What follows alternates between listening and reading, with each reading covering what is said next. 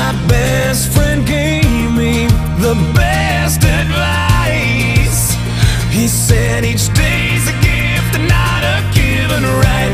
Leave no stone unturned, leave your fears behind, and try to take the path less traveled by. That first step you take is the If today was your last day,